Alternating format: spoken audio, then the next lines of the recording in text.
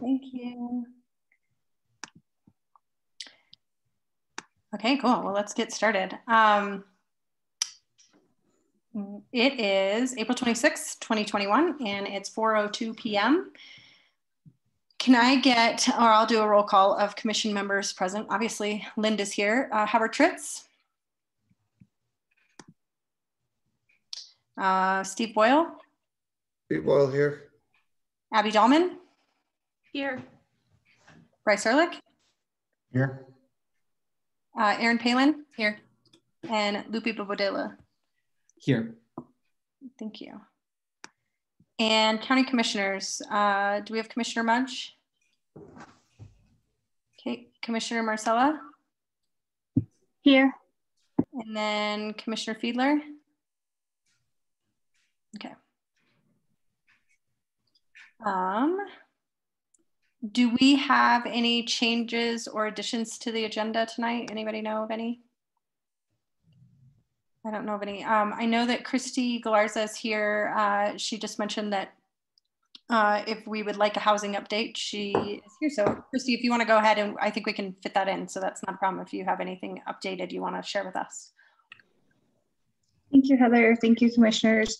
I just wanted to pop by and see if anybody had any questions. Um, the policy advisory team is going to be meeting again next week, um, and they'll be doing a debrief from their presentation and then be ready to come back to you guys.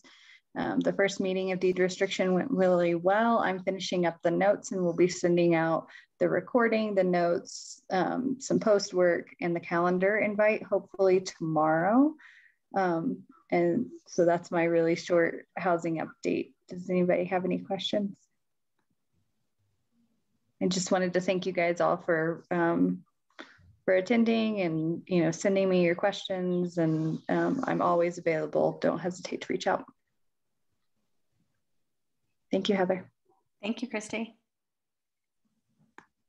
Okay. And we don't have any other updates, so we'll skip right on down. Um, sorry, I have three screens going on at once here. Um, oh, Heather, I have one quick oh, yeah. thing. Hey, I'm sorry, sorry for being late. Um, and to, uh, just a quick reminder to anyone, uh, everyone, um, if you have any edits or comments about the recommendation that I sent out last week, um, I'm going to get ready to put it on the agenda to take it to the board on Monday. So if you have anything, if you could be so kind as to get it to me by Wednesday, that would be great. Thank you. Great, thank you, Anne. Okay, that'll uh, tie us down to old business and we have the review of the backcountry zoning questionnaire. So um, a bunch of us filled it out as as PC, we filled it out kind of in the meeting. So um, just if anybody had updates to that, um, we asked that they send those out and then we had the commissioners respond um, as well. And I'm just gonna share, I just tried to com compile all of them under the appropriate questions. So I will switch share screens here.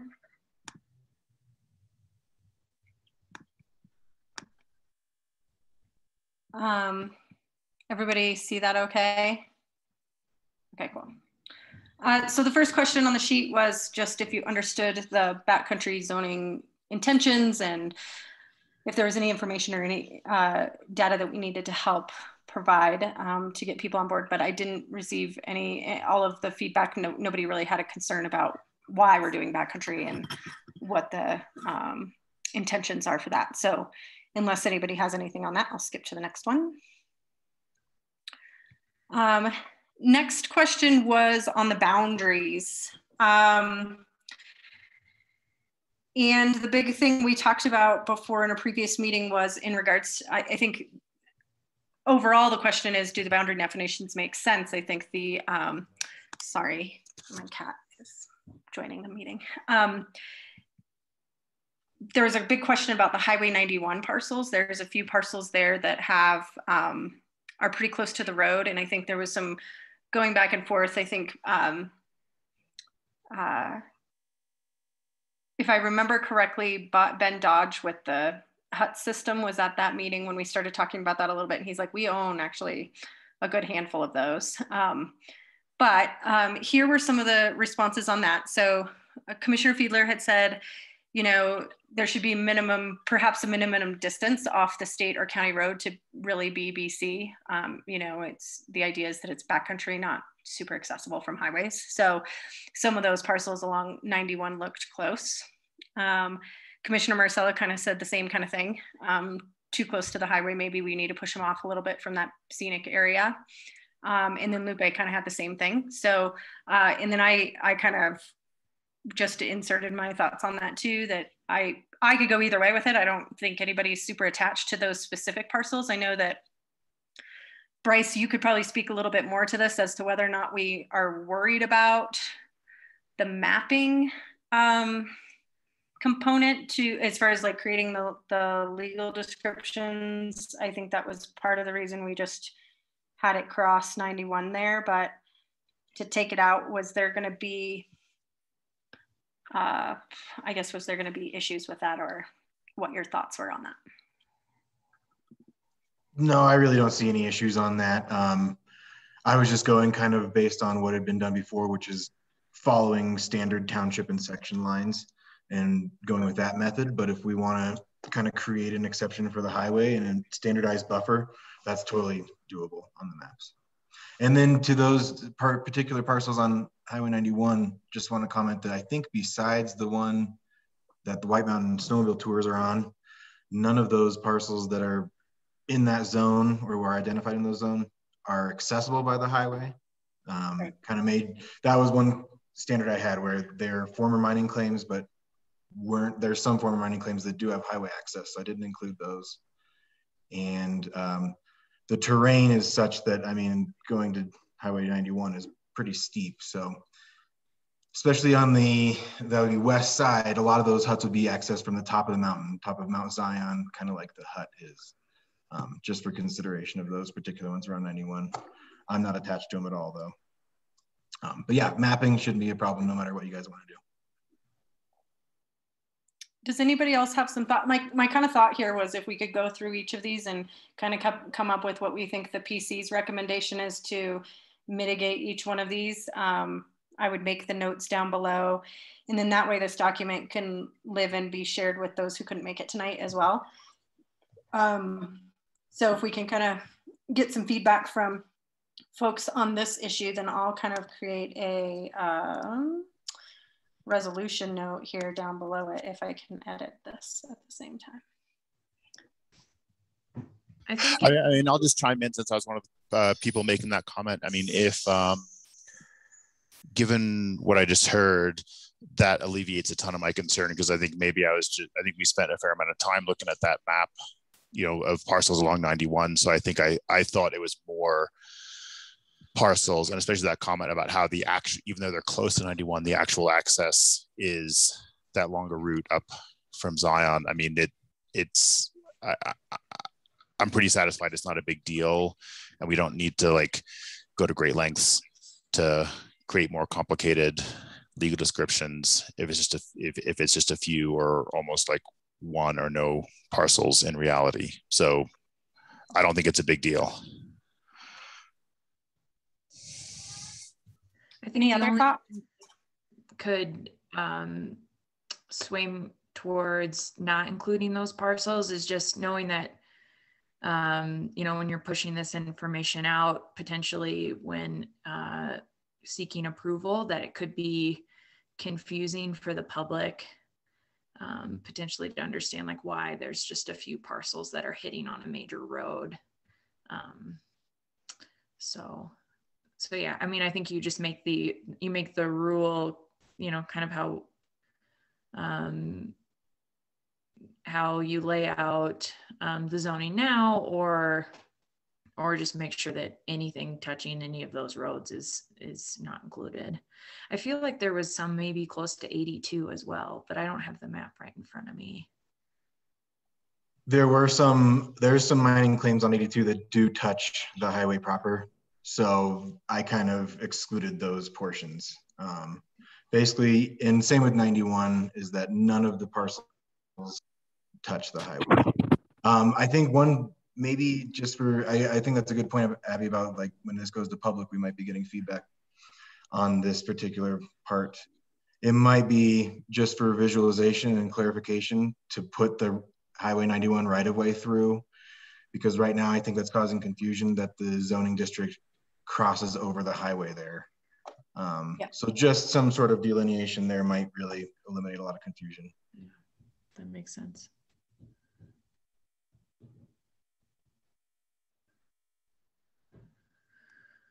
Any other thoughts or suggestions on that? I like that idea a lot, Bryce. I think regardless of what we do, if we take that, if we take the highway out of the out of the block of color, that changes, you know, the perception a lot, but a lot more.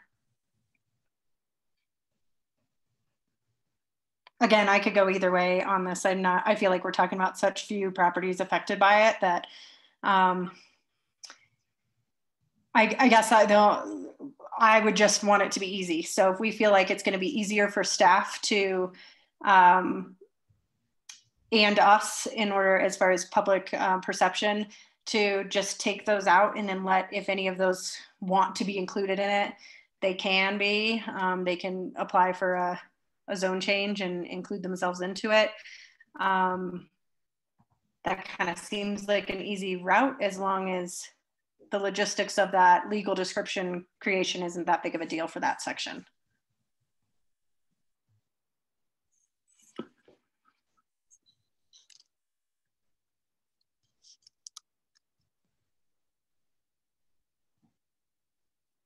So whatever, how are people feeling? Kind of go with that that plan of attack, just leave those pieces out? Or keep it but delineate the highway out of it to clear up what's what uh, what would people if you had to choose one let me know what you'd think Would we be doing the same with the Highway 82 corridor as well? We could. Well, if we do it for one, we should do it for the other as well. I'm personally in favor, and I think the legal description would be relatively straightforward to just exclude the right of ways. And then it makes it clear, but uh, you know, because it doesn't open the can of worms of what properties we should be excluding um, when we go down I'm- that road. I'm really quite good with that. yeah i like that how does everybody else feel about that any concerns or I like it. Uh, the, if the public can understand that, I think that'll help the building department uh, demonstrate the case to the public. So I, I think that would be a, a real life changer for for uh, the building department to be able to explain it to the public, and the public would understand better. yeah i think that's great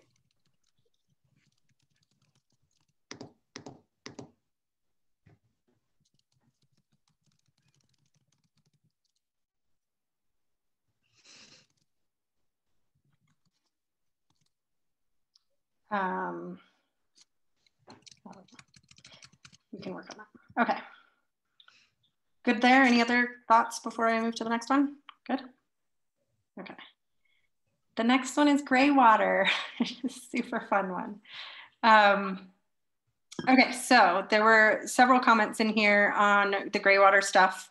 Um, you know, we've talked a lot about this. Obviously, again, coming back to wanting to make sure that staff um, both our staff as well as public health staff can manage um, requests coming through on this. We want to make sure that there's definitely some clarity on what we're doing with sanitation services. So the first um, response was from Paul, um, just kind of saying that the PC isn't a part of the gray water um, planning. That needs to be environmental health. He had some good points in here about that most of the backcountry users are likely going to be um, applying for an outhouse um, or have to do the full system because um, they're either going to want the kitchens.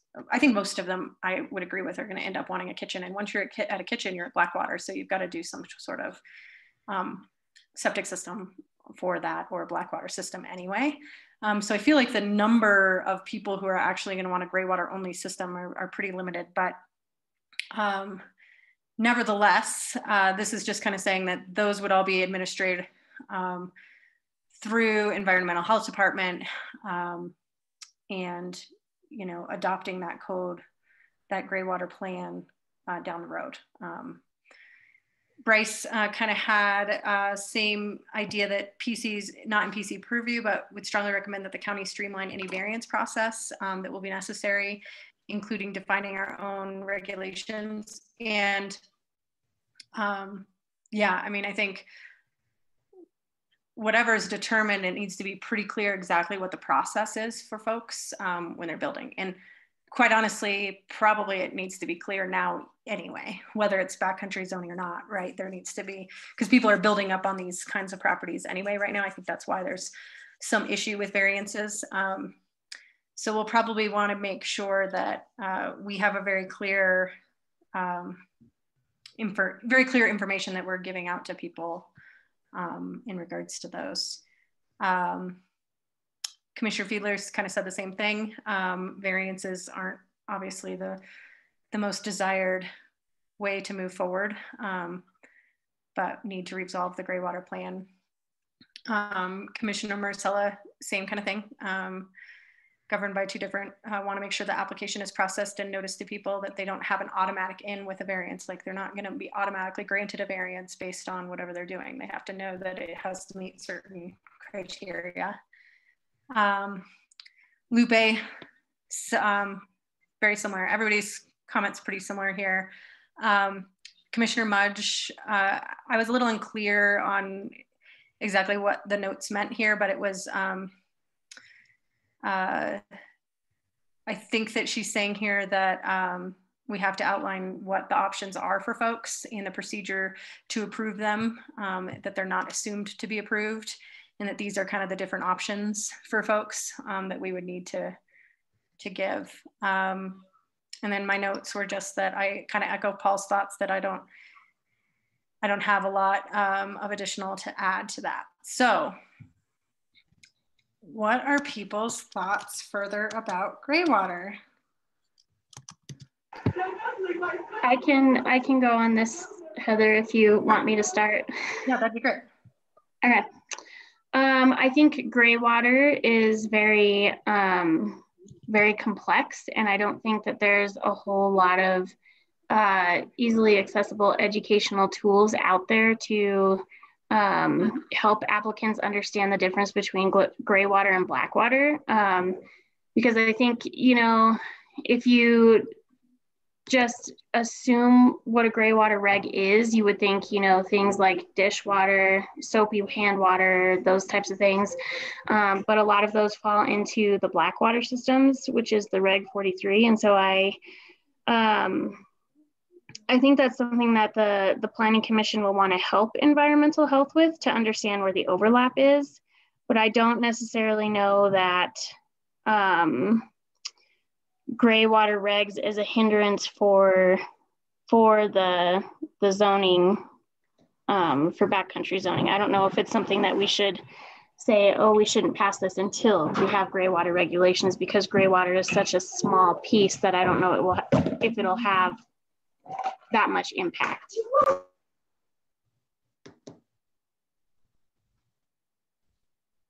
Thank you, Kayla. Uh, any other uh, thoughts on that? Uh, I think that Kayla's mentioning that um, gray water is such a small issue in the backcountry zoning issues as a whole. Um, I would agree with.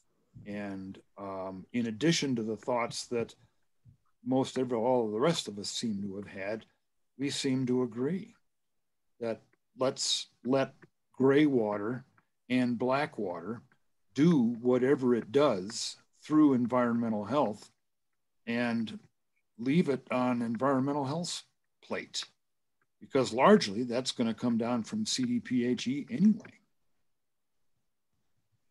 Is there uh, to assist in that and to make things very transparent and very clear to our folks? Is there a um, is there something that you feel like anybody feels like we could put together that would be informative that would say hey here's just a little bit of information. You need to go to environmental health to get the resources on this.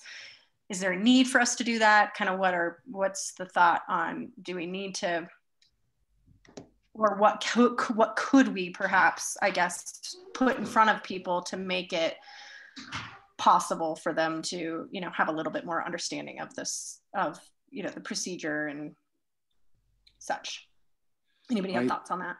I i think i don't absolutely know this but i think that it's cdphe that dictates that there be a variance procedure for anything other than a standard owts and they dictate how that uh, variance is handled.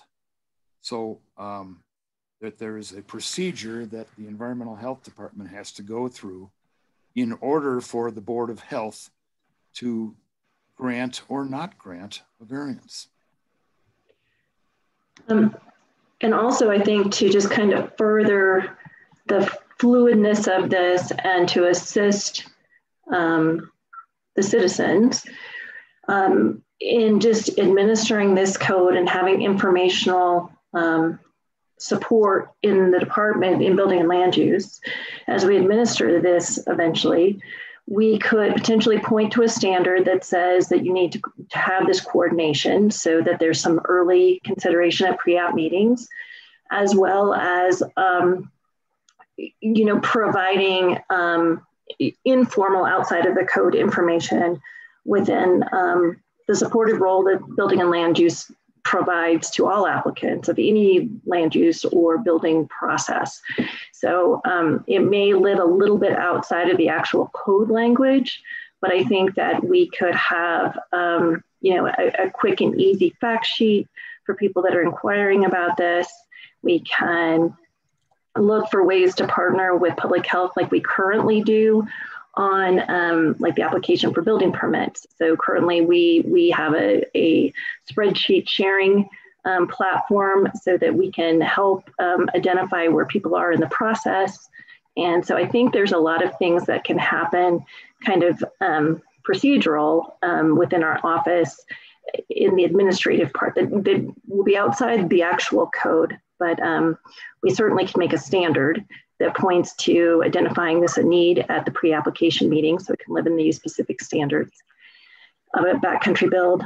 Um, so I can look at trying to add something there. And then also the assurance that we could um, propose a method by which we um, look to help inform and support, support public health through this and inform the public.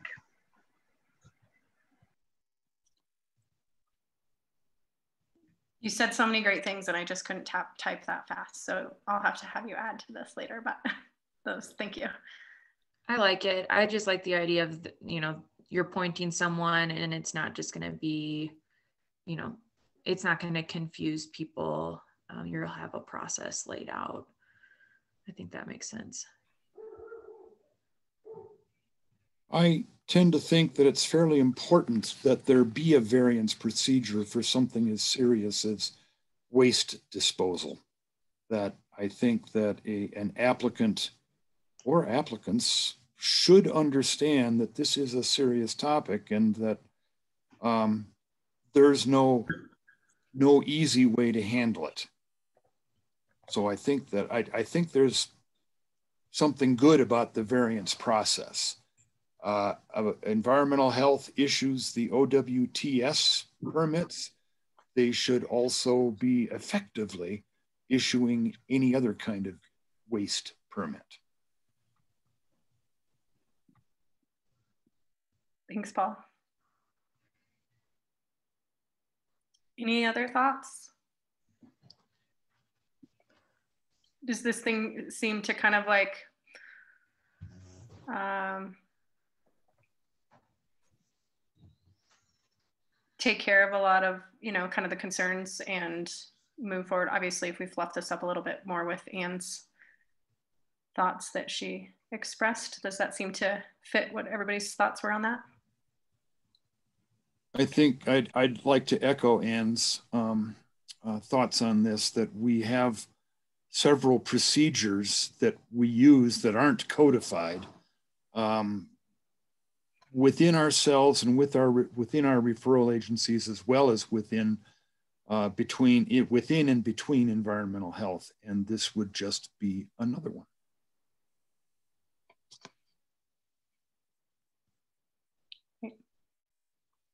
Okay. Next one was wildfire. Um, and I think the last time we all talked, we had had the, or Ann and Sarah had had the conversation Forest Service. Um, and then there was also a um, advisement to contact Parks and Rec, which later I know Paul had a question as to who Parks and Rec, but I think we were talking about the state maybe, but I don't, anyway, for feedback to make sure there's nothing else we haven't considered. Um, and then most everybody here is kind of talking about defensible space. Um, you know, Commissioner Fiedler brought up a question about, um, and I don't know this acronym, um, so that would be helpful. And then um, I am, I don't know anything about the Fire Smart Code, so I'm interested to learn about that. Um, but it sounds like, you know, everybody here is kind of saying, hey, we want to make sure that we are providing people with um, recommendations for defensible space and things like that, and what should be required, what should be recommended, um, and if there was any additional agencies we should be reaching out to.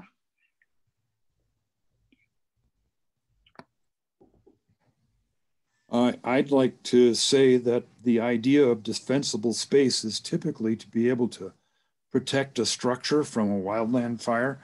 I think in this case, what we want to do is protect the wildland from a structure fire. Yeah.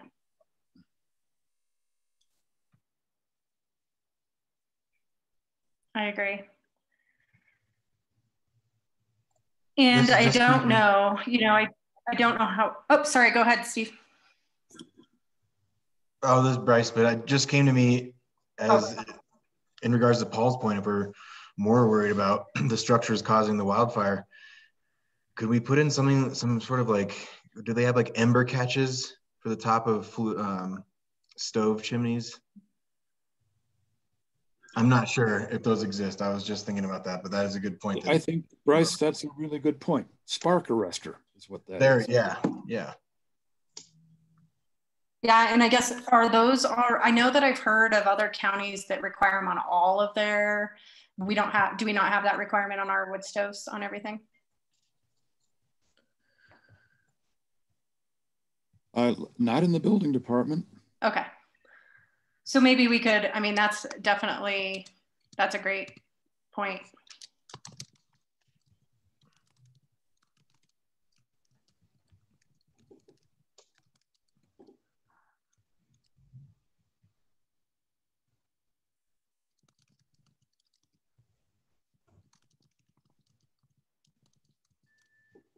I don't even know if that's how you spell it.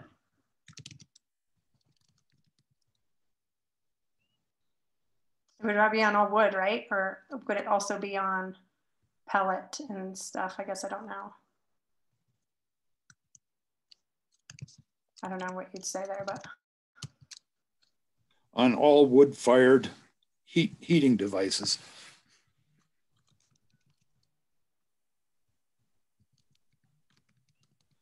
Okay. Or wood burning. And Heather, I um, think what I was trying to get at with my comment was I, I typed in the chat the name of the State Department, but I think oh. maybe I mean maybe the broader point actually is with the with the um, sort of updating of the community wildfire protection plan. I, I don't know if this makes sense, but I mean if there are areas of this new backcountry zone that sort of come out of that prioritization you know mapping effort. I mean I, I mean maybe just everything in the back country needs to have a certain level of controls but i i could see some of these zones some of the parcels in this backcountry zone being in sort of the highest tier priority um, out of that community plan. And we might i mean maybe it just gets dealt with as the actions coming out of that plan but I could I could imagine there being some stricter controls in the highest risk tier from that mapping. Yeah. Is, is there, does it work at all where, um, and I guess I don't know how like the fire restrictions get put into place, but is it, um, could you potentially have a stronger fire restriction in like a zone district instead of the or like a certain area. Like if if the dryness or the climate changes enough to where somebody's like yeah that higher elevated high risk wildfire area needs to have more restriction like is that a i has, guess that's has, how that works. Hi heather. This is brian sipes. Has the county adopted all of the international codes? Because there is a code called the international wildland urban interface code it deals with everything you're talking about. It requires spark arresters, requires defensible space. I believe upon its adoption, you can define where it is in force and where it is not. But um, I guess the point is, is all of this has been thought about before. There's an actual building code that addresses it. Yeah, so, that, Paul, that's I right. I don't know if it's the WUI, the Wildland yeah. Interface. Yeah, Yep. And we've been talking about that with the fire department for six years now. Okay. So, um, I just want to um, kind of also point out what the current draft code says. So, with the help of the um, Forest Service, we put in additional. When we talked to tree, talked about tree removal, we have in here consult um, consultation with a fire professional is advised to help determine tree and fuel risk associated with backcountry locations and structures. So that's under tree removal. And then under fire mitigation, the current standard is all development shall comply with the Leadville Lake County Fire Rescue Fire Hazard Mitigation requirements. So we do, I just want to at least mention what the, what the draft has uh, present in it currently. Well, and also the reason I brought that up is there's a couple of things in the WUI that um, you haven't talked about, at least that I don't know and that is uh, there's some guidelines about where you can site your um, propane tanks. And there's guidelines in there about storage of firewood and combustible materials. There's there's a bunch of good stuff in there that helps in those situations i think. So is that something that we could even though we're not necessarily adopting that countywide yet, and that's still in conversations, perhaps something that we could do with that is um, pull pull any regulations out of there that we want to um, apply specifically to the backcountry. It's just that I think that what I worry about a little bit is the idea here is to create the zoning code and not the building code. Um, and I think that we have to be really careful to not address building code in the land development code because the building code can change so frequently and we don't want to um, create a document that's dependable or uh, that in, ends up being in conflict with another one. So yeah, you don't um, want to duplicate it. I think either. we have to be careful with what we're what we're doing. So we'd want to make sure that I guess part of this idea here is what haven't we thought about um, as far as wildfire protection for the code that we're writing, but then also are there other areas within the county that we need to focus on, such as um, building code or what have you to address other issues? So I think you're dead on correct, Heather. And I think that's why I brought it up is to the extent that you can reference out to other documents and leave it out of the land use code, you're probably better off. Mm -hmm. Well, uh, as for your question, Heather, um, yes, you can uh, chicken pluck certain things from other codes to uh, to put into the zoning code, and you can do this with one whole zone district. And I would say that the uh, backcountry zone district is probably going to become the very wildland urban interface um, when this is all said and done. Right, and I would also just, you know, be hesitant about, again, looking to um, adopt other um, plans in preparation for this, just like we've been talking about gray water. Um, so, um, yeah, any opportunities that we have to be um, intentional right now and, and hope that um, eventually those others may come to fruition, but I think that might be also helpful. I just had a quick note about the actual work we're doing on the community wildfire protection plan. Um, we don't really have like a defined WUI right now, like that meets a bunch of standards. So that's one of the things that we're working on. As soon as we have this survey data meeting this next week about kind of the next step in that mapping process and what our WUI is considering our particular assets in the county. So I think we'll have a better idea of that, but yeah, maybe if we could avoid that, you know, pointing to it specifically. And then my other um, point was just to bring up Jeff's point about the private landowners being in wildfire risk zones. Um, one thing that Chaffee County has been able to do, and maybe we could make it or try to compel or incentivize private landowners to do this, is that Chaffee County, as part of their CWPP, has a private landowner program that specifically is there to fund fire mitigation on private pieces of land.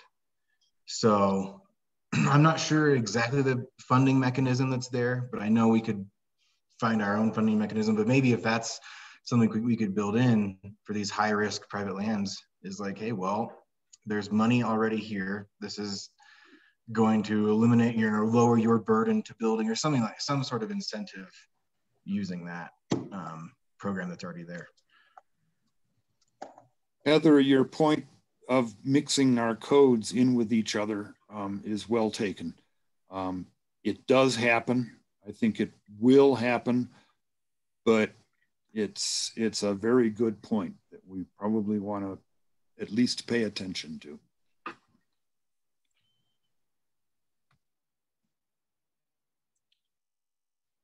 Um, so what are people's thoughts as far as our proposed resolution here? I mean, I think that um, I'm, you know, I'm excited to hear that there's progress being made on that. And um, I like the idea of pointing to that um, in our, you know, in, in this zoning code.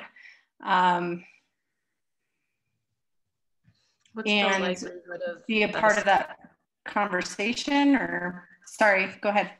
Oh no, I was just gonna the likelihood of us adopting um, that wildland urban interface IBC. So an, an easy way to address that now is when we say that it has to be compliant with the, um, the Lake County Fire Hazard Mitigation Plan and any future adopted plans. So we could um, just, you know, clean it all up and, and, and point to what might happen in the future. So that's, that's kind of a quick and easy way to be inclusive about it. These um, individually will also be referred to the fire department.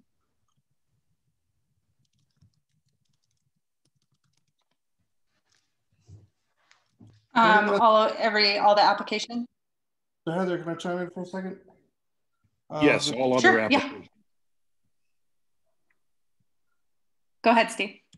Um, I agree with uh, Paul beat me to the punch on it, but uh, from the fire department standpoint, to be really quick about it, we can put a mitigation plan in there the standards for defensible space. So it did something in there landscape wise and recommendations and distancing.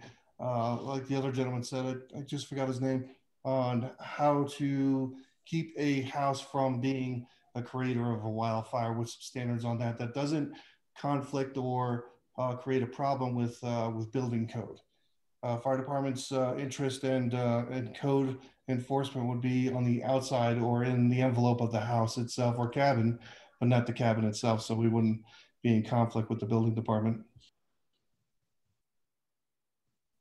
Yeah, we, so refer, you... we refer every building permit to the fire department anyway.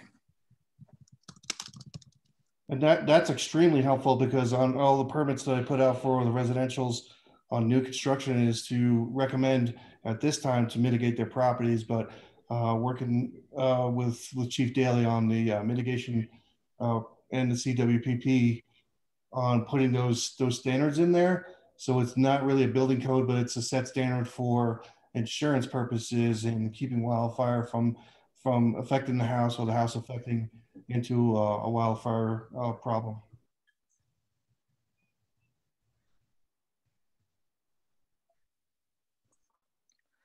So um, I just want to make sure I'm capturing things. Um, so kind of our resolution, we know that there's a wildfire protection plan in the works.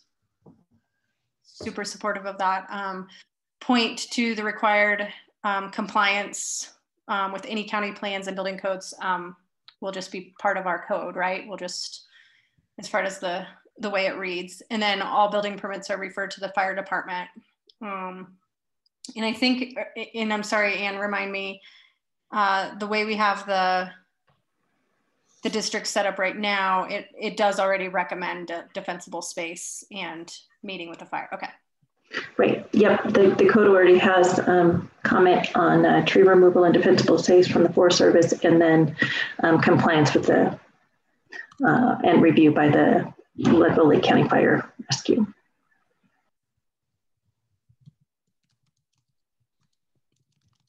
And, we could just point to, you know, just change that sentence and to any future plans adopted.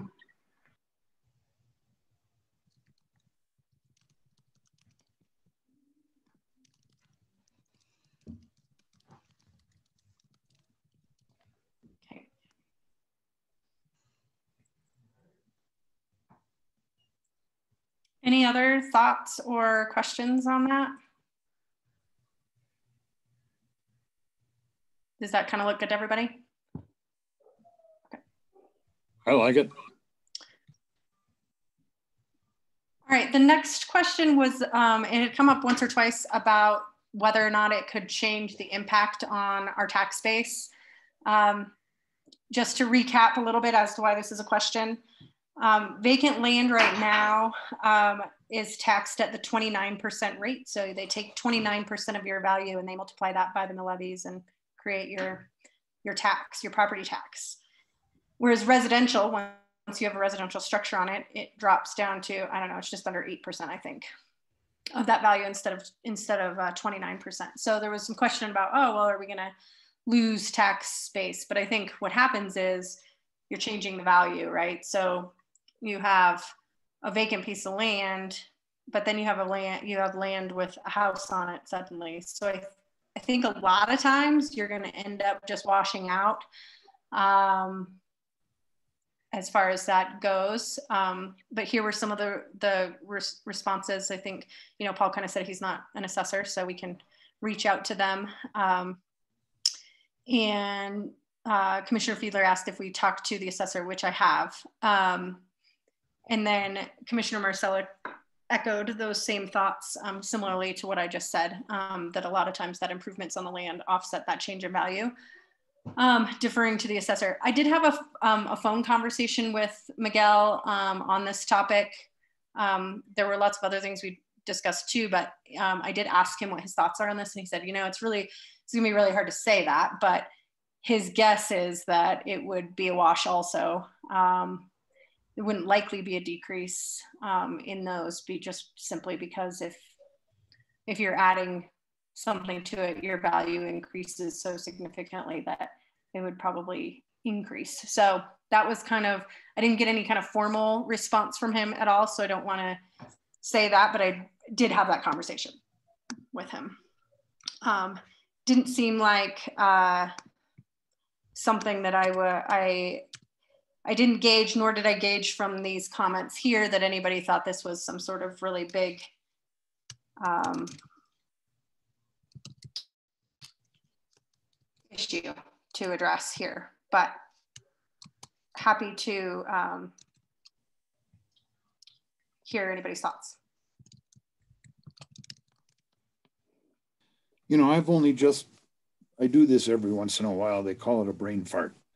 Um, I, I wonder if a backcountry cabin that doesn't really have a kitchen, that doesn't have plumbing, doesn't have a source of a permanent source of water, is that a residence? And would the assessor consider it to not be or actually be a residence? If somebody is going to get a permit to for a uh, um, a pit privy, um, they're not going to be allowed to occupy it more than 180 days out of the year. So historically, um, I, mean, because these do exist right now. I mean, maybe not the under 600 square feet part, but these do exist where we've got a few people with backcountry um, properties that have um, a pit privy, uh, and they are currently being taxed residential um, for the most part. And Howard, actually, our previous assessor might have more to say about that. Yeah, thank you. Um, I had difficulties getting signed in here again today. Sorry, I was a little late. Anyway, um, yeah, you know, historically, a, a house is residential. People live in the house, they stay in the house, they sleep in the house, they have bedrooms, they have closets. I mean, it's it's a residence.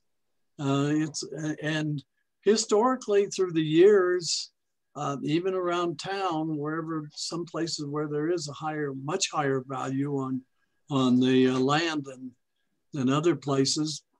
Um, historically, it's it has been a wash. It's been more actually more than wash. It's, been, it's they've usually increased in value because the house value or cabin value has uh, increased over the land value, and it makes sense because people people pay a lot of money to get these uh, vacation uh, uh, uh, uh backcountry homes because they all want one. So they'll they'll raise the price on them.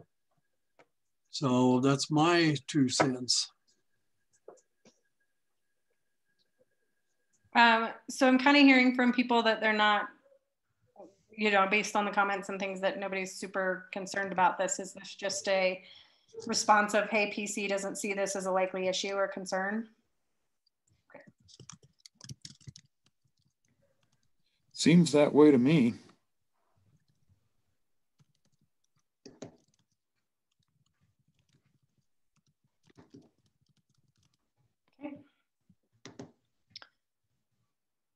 Uh, this was on the grade of 30%. Um, and Paul said building department requires engineered plans on over 20%. Um, Fiedler said uh, he wanted to make sure, and I was a little confused on this, and I just wanted to make sure I wrote this comment in the right section. Um, if we could eliminate some par parcels based on the satellite mapping slope analysis. Um, and I don't know that we were going to do that, but I don't, I also don't know how it all works with the building department as far as how you guys determine slope. Um, but I don't think you're doing it on a mapping program. But um, so he's recommending he'd like that on a actual rely on a survey for that. And then um, a lot of us said, hey, we don't have any knowledge on this. So um, in up to Paul's point, I didn't, for some reason, I thought we came up with 30 because that's what is currently being used. But if 20% is what's currently in the code for everything else, then I don't know why we would increase it to 30. So I would be, I don't have any expertise on that. I was kind of relying on that. So if you guys, Paul and Ann at the building department, if you guys are, are requiring plans of anything over 20%, then I would say that we would just want to match that. I wouldn't want to create any differences in the backcountry district from what we currently require. I thought you just couldn't build at 30%. No, you can build on any oh. anywhere, and um, as as long as it's um, designed well enough. I mean, we just require that uh, engineered plans be submitted to us um, on grades over 20%. It doesn't mean it, that you can't build it on a 90% grade. It's just it's got to be engineered. But were we propose? I think what Abby is asking is, were we proposing that um, in the backcountry code that anything over 30 couldn't be built on? Which that's a great question. I don't know what we were writing in there because I, I guess I thought that it was more along the lines of this. If it's higher than that, you've got to have pretty specific engineered plans that prove that it's okay to do. But I think, I think Abby's got it right. I think we were just read it from the code real quick. So what we have in the in the code draft says where practical and consistent with other standards of this code, structures shall be sited on the portion of the parcel that has less slope, which shall in no case exceed 30%.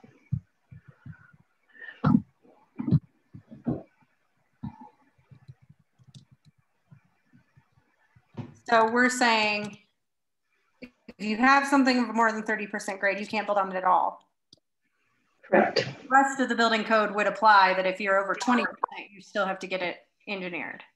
Okay. Yeah, that becomes more of a building code than it be than it is a zoning code. Um, I just think this is one of those cases in which we're going to be mixing the codes. Uh, I don't really have a strong objection to limiting construction on a 30% or 20% grade. I just think this it's a good example here of where we mix building code and uh, zoning code together. And I don't really have a strong feeling about it.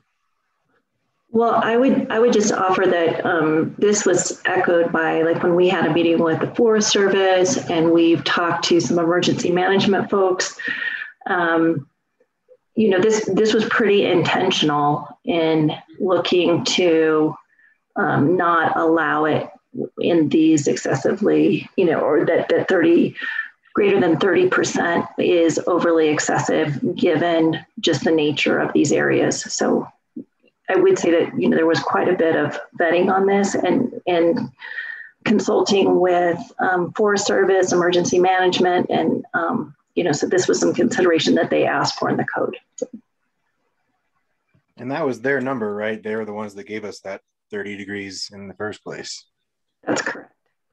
Pretty heavily tied to avalanches, right? That's exactly right.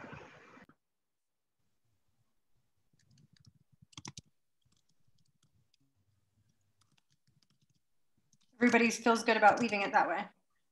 And I think that this clarification alleviates everybody's questions here. Um, I'm good with that. Commissioner Fiedler, does that kind of address what you were asking about here too? I just want to make sure. Hope I see still on. I might have lost him. Um, Yeah, no, I'm here. Sorry, just uh, my phone had kind of gone into sleep mode, so it took pushes to get off mute. Um, yeah, yeah, no, and I think my question about the mapping was, um, just, I mean, I thought there what we had when we had the discussion before, Bryce had sort of a slope tool, you know, based on the GIS mapping, and I was just, I mean, I don't know the answer. I was just curious. So I, I, I think my question that question about whether the mapping is accurate enough or whether you need a site survey is probably moot given the discussion. Um, but that was my point. I, I just didn't want to be like excluding people based on not super accurate mapping.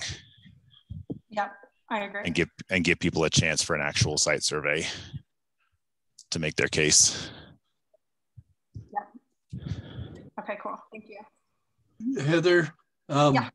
Uh, yeah, I go along with uh, Jeff uh, Fiedler's discussion.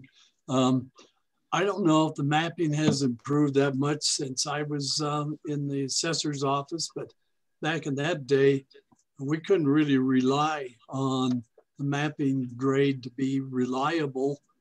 And I think uh, uh, boots down is the best way to do it. Uh, building, somebody from the building department is going to insist anyway when they build the house or the cabin that it's going to be on the 20 or the 30 percent. And um, yeah i wouldn't go by the maps unless like i said it's changed a lot in the last uh, six eight years and i could have. I do have accurate mapping information for slopes over 30 degrees. So it is going to be boots on the ground to you know with those 20 to 30 degree gray area properties. Well, we got to clear that up then because this is a 20%, not a 20 degrees. Yeah, that's eh, we need to clarify that. Oh. Well, so is that what we have? We have it as 20, is it, should it be 20 degrees? I, we, I just it, had it written everywhere as a percent, so. Yeah, most of the topography mapping is done in degree you know, and all the standards of the Forest Service would be 30 degrees because that's kind of the avalanche danger is 30 degrees and above. Okay. I don't know how to make a degree symbol, so I'm just going to write that in there instead. Okay, cool.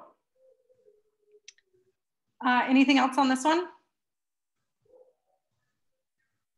Okay, cool. okay, road access, easements, enforcement. Um, this has to do with people trying to figure out their legal roads, um, trails in the backcountry, people building them up, people doing damage to them and such. Um, Paul uh, said that, you know, it would be prudent for us to make sure that we're mentioning in the code that this is intended to keep it backcountry. Um, so not, you know, improving those roads necessarily, um, but keep them primitive and access um, improvements are discouraged other than drainage maintenance. Um, Bryce had some good points about whether or not we could do um, or how code enforcement would happen. Um, active uh, prevention and penalization of illegal um, road, cabin, trail construction, um, and defining the current and future access um, for roads and trails. Um, Fiedler along the same lines as far as what is our um, enforcement capacity um, in doing anything about existing structures. And I assume he means kind of along the lines of things that don't necessarily meet the code currently and or need to come in compliance. Um, Boyle uh, responded that the road designations would really help in future projects and ownership. And I think that that was because we had talked about the, um, that somebody was already working on um, identifying, or we were going to ask, I think, Road Bridge to identify county roads and other county identified public roads. Um, and then Commissioner Mudge was saying no road construction. Um, the first one I was a little confused on just because it says if the parcel is accessible and by a recorded and recognized public road, then you must get explicit acknowledgement and approval of use.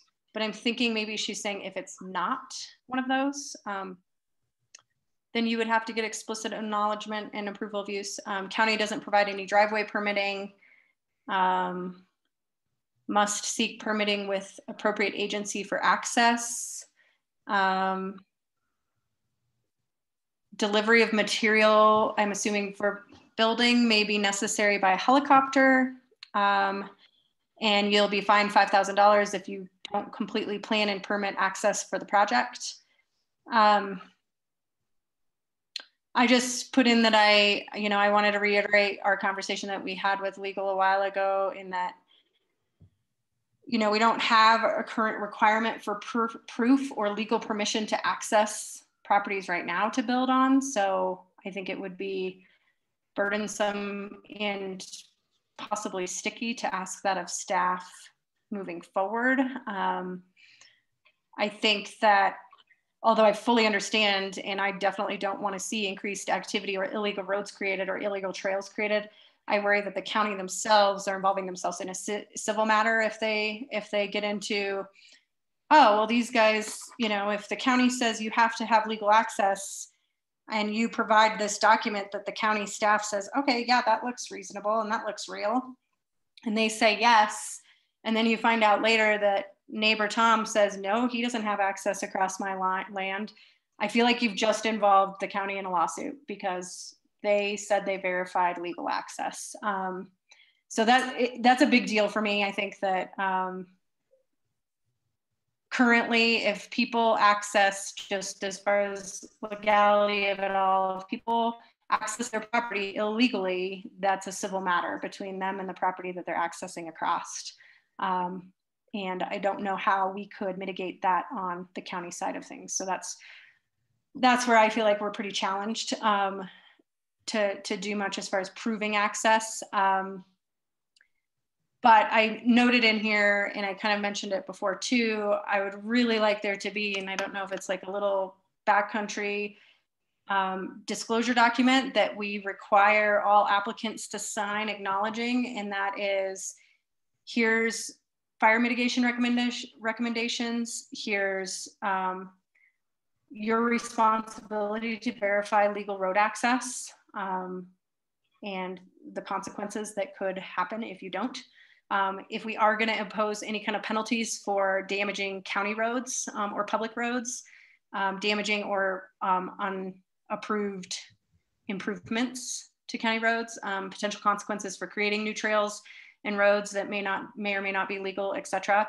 I think that you could just you know require each of those and there may be more that based on our discussion previously too that we want to say hey um, we want to make sure that every person building in the backcountry has seen this document they're signing it and they understand that the burden is on them to make sure that they have legal access and that they understand that there are penalties if they don't um, and such. So that was kind of my suggestion um, but i wanted to i think this is a big one that we probably need to open up for discussion. So here we are. Heather heather that's a terrific idea. I, well, I and, think, go ahead Ann. go ahead paul. Well i think that um, it's certainly going if in order to get to a mining claim for instance has to go through forest service land the forest service is going to require a permit and um, and they're not going to want to see much in the way of of anything other than really backcountry um, that it isn't intended to be a road um, so I, I think putting the burden on the applicant, uh, and we can tell them, well, you got to cross Forest Service, so you got to get access from the Forest Service. I think part of the discussion that we've had before is if somebody has to cross another mining claim in order to get to their mining claim, that's been rather implied since mining claims were in, in existence. So um, I don't think we'd need to worry about that. But if the driveway that needs to happen to get to a mining claim is across private property that isn't a mining claim. And I know that some of that does actually happen. Um, we may need to actually tell them that you need to go get access from this person and from the Forest Service. And I think we can actually require a driveway permit. I do think you change the nature of like the historical use of a mining claim by changing the zoning.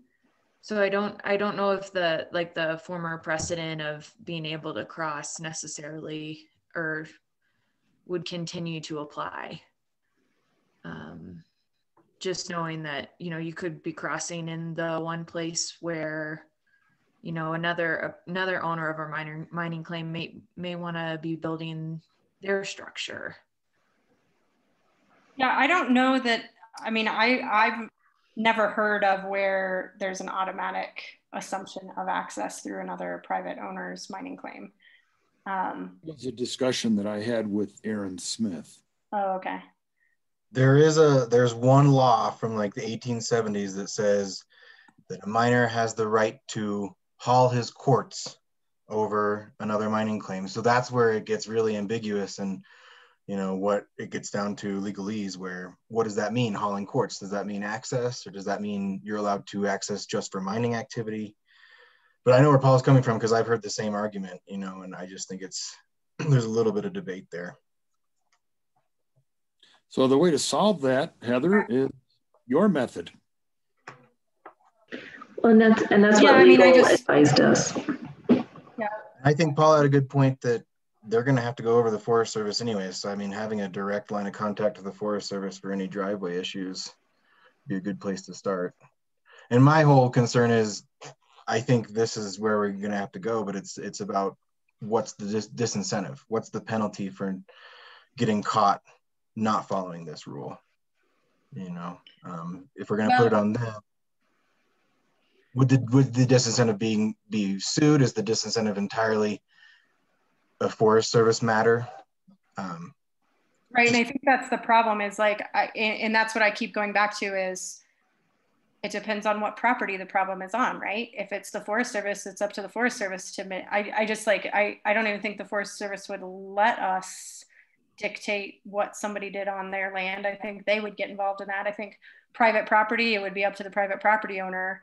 Um, and then I think the only other other place that we have any say is, and I think that's why I put on here that it was about county roads, is if it is a county road or a county recognized public road, then I feel like perhaps we could talk about these um, penalties of like hey, if you do damage or you do something to this, right, then the county has say on that because it's it's a county recognized um, piece. So legally that makes sense to me, but it it doesn't make sense to me to say, well, legally you have to prove that Joe Smith gave you rights to go over his land, and legally you have to not build up that road more than you already. You know what I mean? Like I think it just gets it just gets really sticky I don't know how that works. I guess I'm just saying that like all of it gets really muddy when you start talking about penalties of doing something or enforcement of doing something over, especially Forest Service land. But we already have in the code somewhere, right, that we require a driveway over Forest Service land. Or, or rather, we would require a driveway permit from the Forest Service if it went over their land. Yeah, and Heather, um, I think you've covered it pretty well in that paragraph. Uh, at this point, it looks great. You know, as time goes on, we may find it needs some uh, dressing up, but it looks really good right now. And, you know, the thing is, most of these are, you know, they're they're still recreational mining claims, and it shouldn't change their classification, even though they have a cabin on them. I wouldn't think um, even though it does become a residential thing. But most of them uh, have a, a, semblance of a road going into them because that's what they were up there for. The miners had to get there. Um, a lot of them don't, but uh, I think probably the majority do. And during, I remember years back where the Forest Service wouldn't allow people to go across their property, drive across it. And I know of two, two cabins that were built, one up in uh, Porcupine Gulch and another one up in Empire Gulch, where they could drive on a public road to the Forest Service property. Then they had to carry all of their materials in. And, and both people, both guys that I know of did that. And so it's not insurmountable and, and uh, again, I, I, like your paragraph. I, I, think it's very good.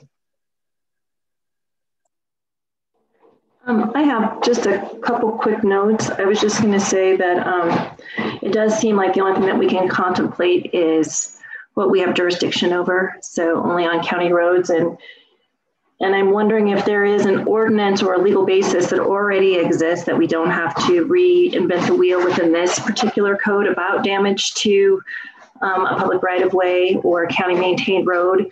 Um, so it, it, staff can certainly look into that and maybe look for county legal um, help on, on seeing if there's already a legal basis um, that has standing or if there's a particular ordinance about that. Um, but again, I think maybe just looking at what we actually have jurisdiction over and maybe not having to um, and relying on, on that legal basis that may already exist um, the other thing, uh, Heather, that you were talking about is kind of a code of conduct. Um, and so every building permit that is pulled, we have what's called a, a, a, builder's affidavit. We have a specific one for home builders. We have a specific one for contractors. Um, and we certainly can have a, a specific one for uh, backcountry builds, and um, and it is like a code of conduct that they affirm to and acknowledge by signature, and again then kind of sets out the parameters and kind of the or, or basic code of conduct for the actual building activity that goes on site. So those two tools might be um, things to kind of help with a couple of these issues. Thank you, Anne. Good points, Anne uh, I think the affidavit is probably something we should pursue for a backcountry build. Um, I'm also, um, I, I, think Road and Bridge does have the authority uh, that if its road is damaged by an by um, an individual, I think they do have the authority to impose a fine. Um, but I don't know that. And that's that's a road and bridge issue and not a zoning issue. Okay.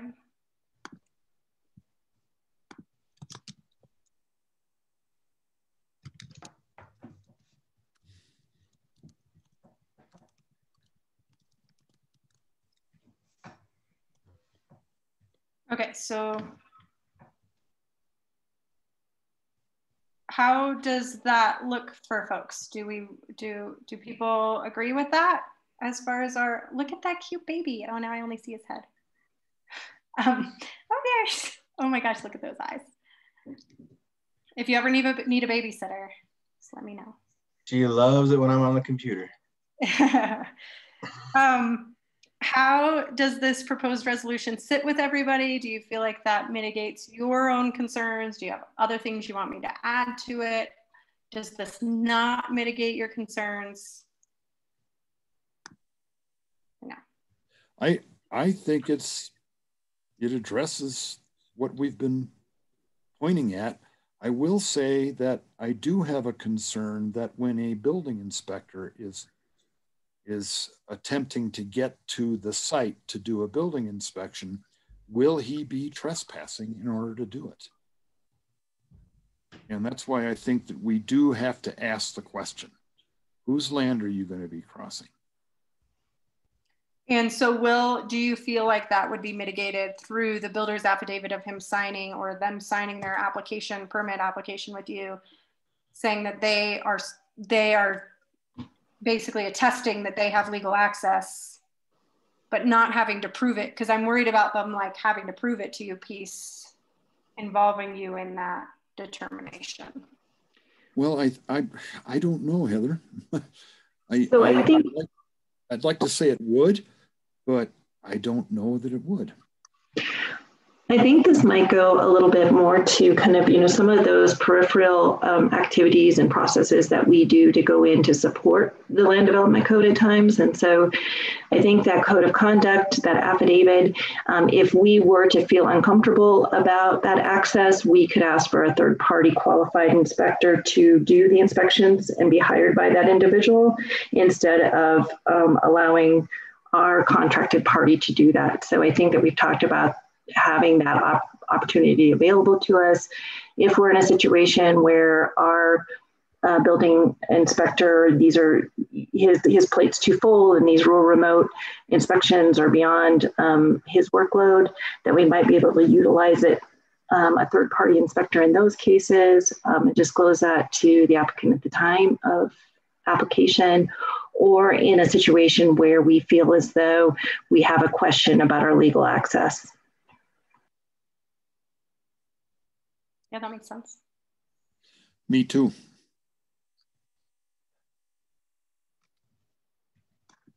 Any other thoughts or concerns on this one? That particular issue we discuss a little bit further down the list here. Okay. Um, okay, so here were other things. So we'll kind of just go through each one as others. Um, so Paul brought up uh, that, sorry, I'm trying to remember. Oh, energy code, um, what have you. But I think we talked about this a little bit before that we're just going to point to um, that they would have to meet a code. We're not getting involved in, in this as far as the, the zoning code. We're not getting involved in building code. Um,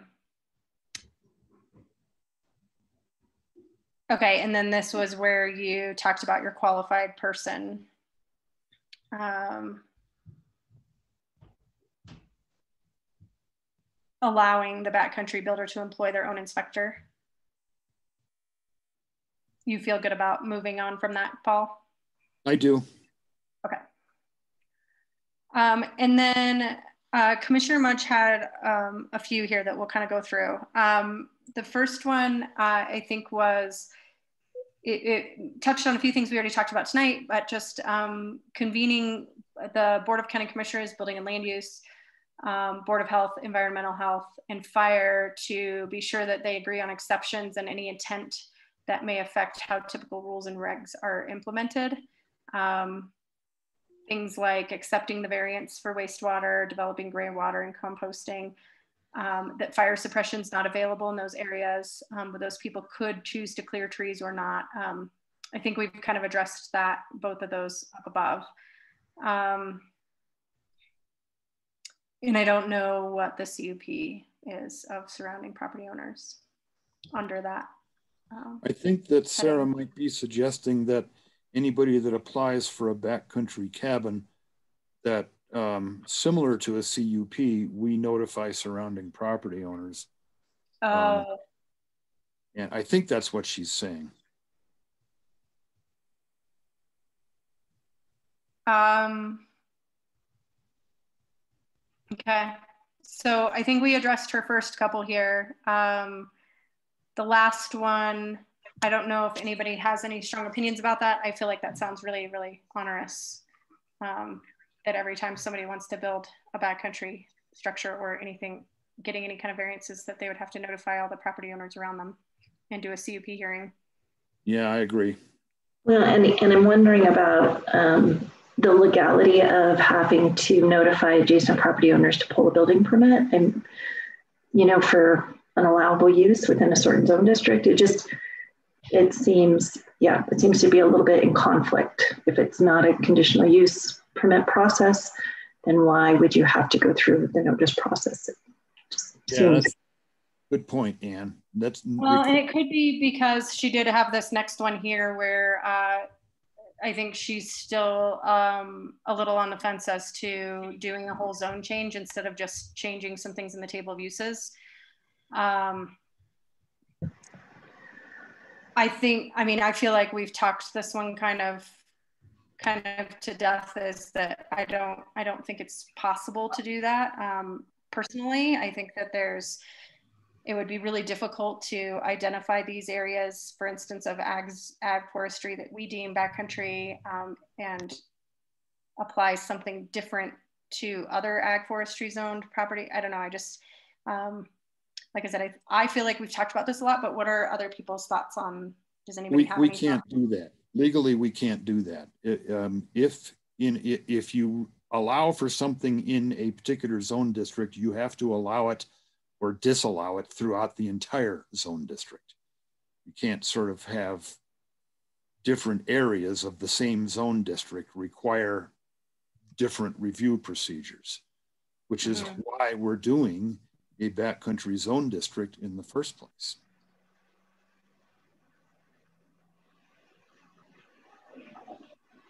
Um, the next one was about rentals. Um,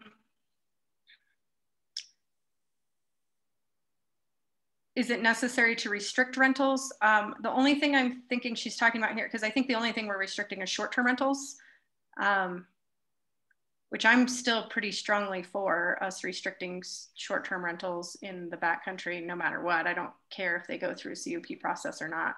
I just feel like we don't need a, a family of Texans who haven't never been up here to travel up on these roads away from search and rescue and stay in a backcountry cabin. Um, so that's my own thoughts on that, but I don't know if anybody else has any thoughts about they'd like to see us allow rental use in the backcountry. I think it would be silly for us to allow for rentals. Yeah, I, I think it's in complete contact, um, uh, conflict with the intent that's outlined within the definition of the district. And just for clarification, um, we do, we don't have anything that says you can't rent it at all, right? Like, so if somebody wanted to be like, oh, well, my buddy's gonna live there for the next two years or live there for six months. I mean, as long as they're meeting their building code for that, we don't have anything that restricts that. Unless it is a pit privy, then they're only allowed to Right, be and they're for 180 restricted by that, but I just mean our code doesn't talk, point to anything about rentals No, other than short term long term Yeah, okay. Uh, is there anybody who wants to see allowing short-term rentals or consideration thereof? Okay. Um, she put in here that she would like to see us only allow temporary structures. Um, so uh, if you remember, we have the backcountry structure is up to 600 square feet and then 600 to 1200 is what we have outlined right now as our, you'd have to meet regular building code and that would be your dwelling, single family dwelling unit. Um, I think she's saying only the temporary structures and you give examples of those structures. Um, and waived variances um, focus the efforts then to just those who want primitive access. Um, it would limit trail and road construction. Um, decking and minimum foundations may be necessary depending on the structure. Um, and then a CUP process could be available for certain proposed uses. Um, I mean, I understand, you know, the, the idea of it would focus that area only to be for those looking for primitive access and it would limit your road and trail construction. I think I just would be concerned about taking away that big of a right from those property owners. I mean, we're already limiting them down to 1200. I would be pretty concerned with saying now you also can't build anything permanent um, of any kind of permanent nature um, up to standard, you know, single family dwelling code. What are anybody else have any thoughts on that? Temporary, according to the building code, is six months. Ah. And um, so I, I don't think that Sarah knows that. Well, Uh, maybe she's just talking about backcountry structures. That's what I think she's doing, because I think a Yeah. backcountry structure is not intended to be temporary. And I think the limited access kind of, I thought, you know, we had spoken to it kind of uh, really like the likelihood of someone actually building a single family home and being able to, I guess, because of access is pretty, pretty limited. Um, Yeah, and and to that point, I think because we're limiting that square footage to 1200, uh, I think that really makes it a lot more permanent, keeps it a lot more primitive. Um, you know, I was talking to somebody the other day, and just to help like further this cause a little bit, um, there's hardly any buildable lots for sale right now um, that that people can find, and so when they see a mining claim get listed, you know, for sixty, seventy thousand dollars, that's ten acres. They're super excited about it.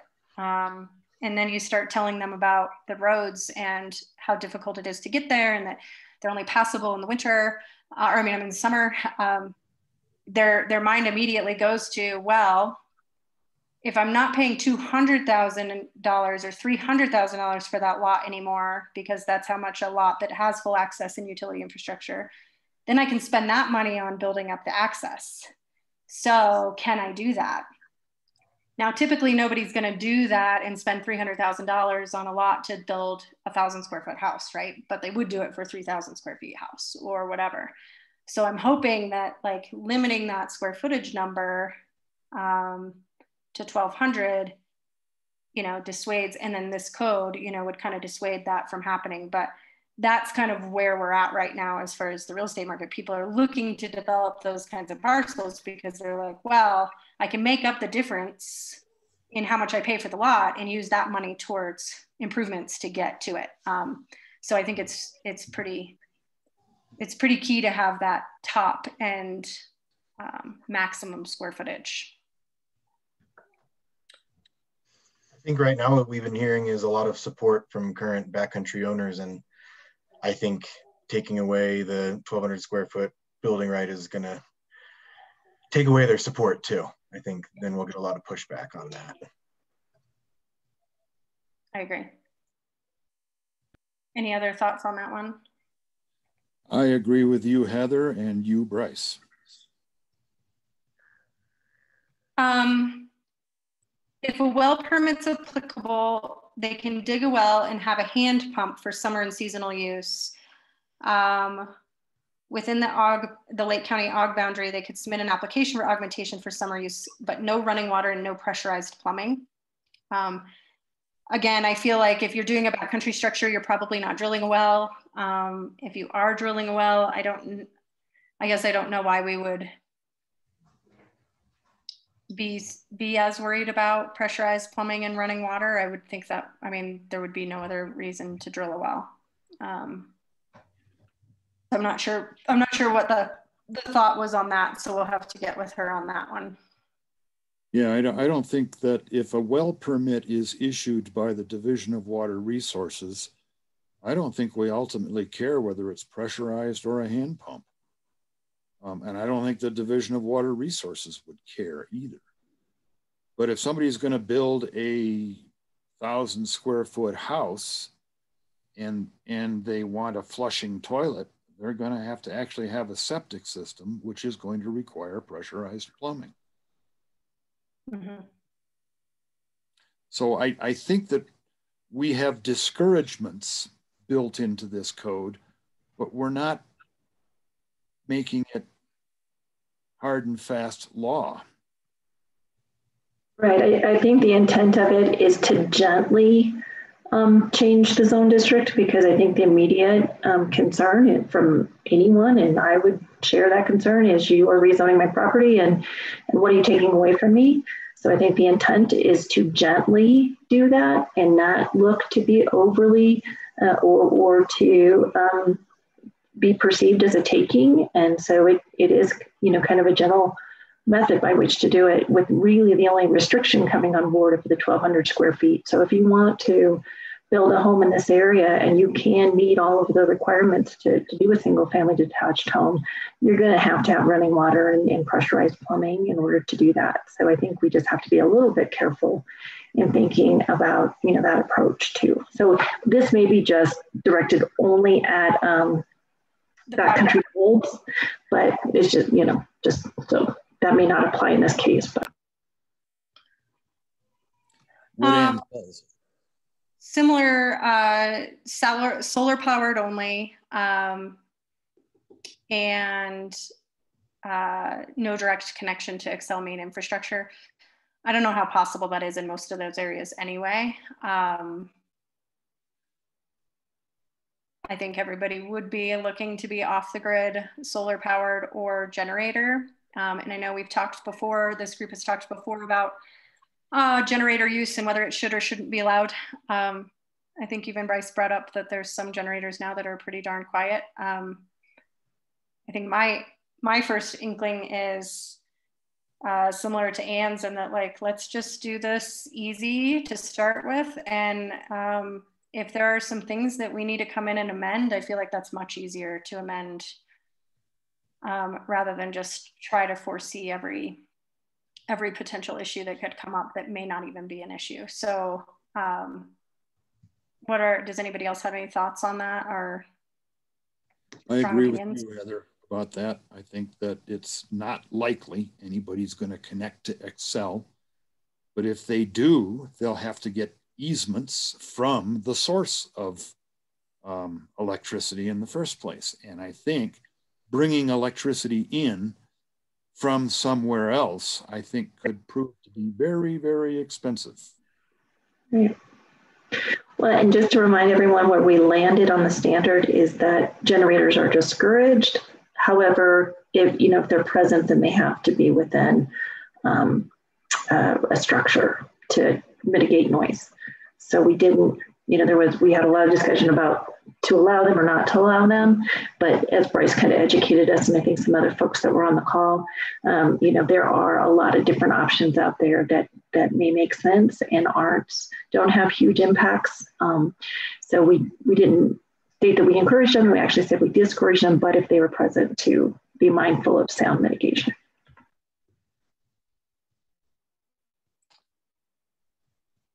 I've got a question for Bryce. Um, up there on the, on the Bear Lake Road, there's several structures in there on, on um, recreation mining claims. And the Xcel, the power line goes right through there. And if I, if I, I, I think that a couple of those cabins up there are hooked up to Xcel. Do you know, Bryce? I don't know off the top of my head if they are hooked up, but I know they go, you know, the power line passes through their property. Um, but I couldn't tell you if they're hooked up directly or not. So I, I don't I don't think I would want to see no direct connection at all because it may be possible if you have the power lines that close and if you can afford to do it. Yeah, it's almost like the power lines are either going through your property or the cost is going to be so prohibitive to doing it that why why would you do it instead of a solar given the technology we have now? And back to the size of structures we're talking about, you know, paying $100,000 to pull Xcel won't make sense for a thousand square foot house. So versus solar. You know, Howard, when I first started to hear you talk about a recreational mining claim, my first thought, and this was back when I first started here six plus years ago, that what the hell is a recreational mining claim? How is it possible that mining could be recreational?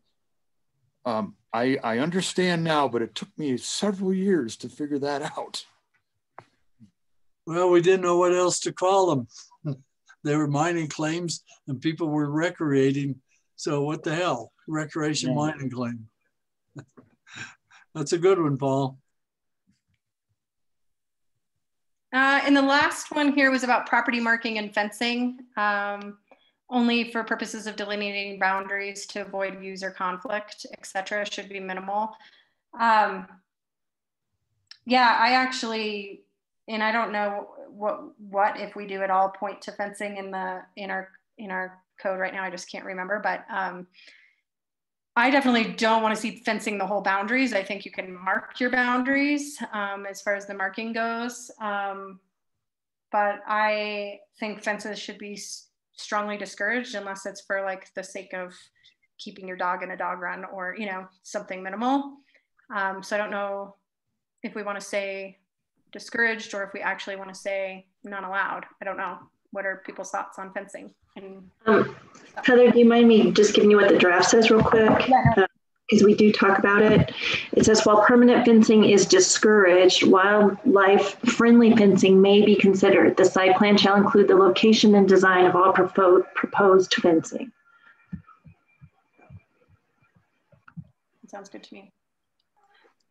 So I actually brought this up to Sarah because I had a point where a lot of these mining claims are in areas that are kind of adjacent to public lands. And so, for instance, my mining claim, for a long time, the boundaries were totally forgotten and people started camping on the actual mining claim, you know, and so they kind of took it over. It became dispersed camping. And so I didn't go up and make fencing, but I put in a piece of barbed wire to delineate the line. You know, I still want to be able to, my dog can walk under it, the deer can go past it, but I think property delineation is really important, especially in these areas that have kind of been I don't know, not really used that much for the last hundred years.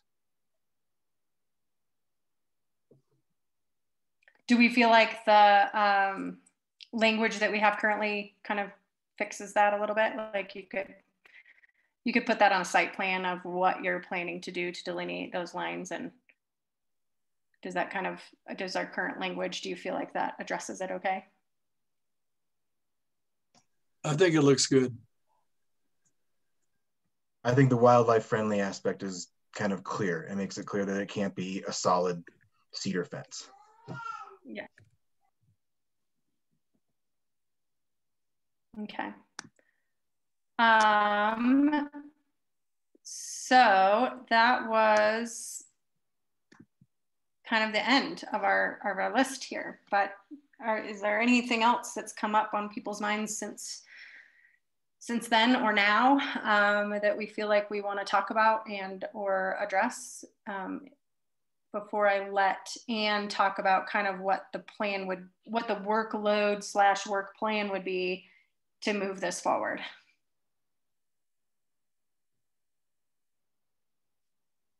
Everybody's good? And obviously this isn't the end all, like this isn't final draft, sorry, all decisions are ended tonight. But I think this lets us know kind of if there are any adjustments we need to tweak before moving forward. So, um, okay, Anne, do you want to go to the um, work plan load, workload document? Do you want me to let you share screen? And do you think that you might be able to, once we get this written written up as of today, could we share it with everybody, including Chris, Floyd? Yep. Okay.